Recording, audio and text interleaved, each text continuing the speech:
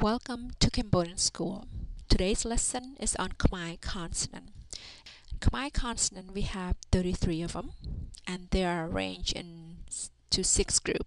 So the first five groups here or the first five row are arranged according to the articulation of the sound from the back to the front of the mouth.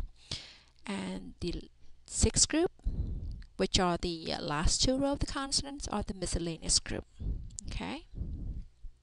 Here's the same chart. Okay?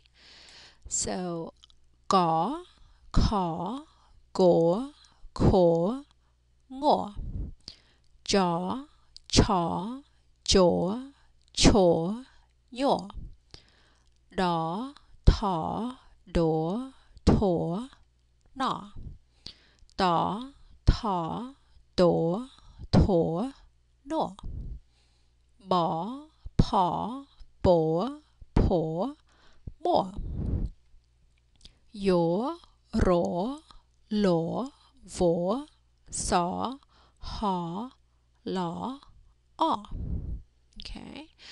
Um, in modern Cambodian, these consonants are divided into two series.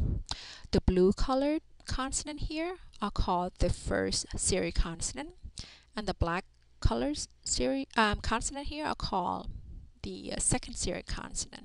Okay, so the first series consonants have R sound, and the second series consonant have O sound.